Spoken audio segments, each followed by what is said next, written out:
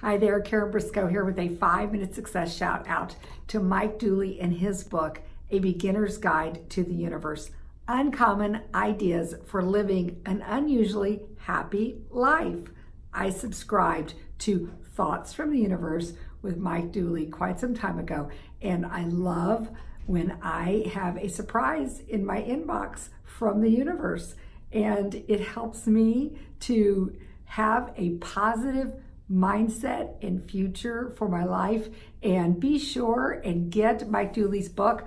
I would love to have him as a guest on the Five Minute Success podcast. So if anybody knows how to connect with Mike Dooley and help me do that, that would be awesome as well. Here's to your success in business and life.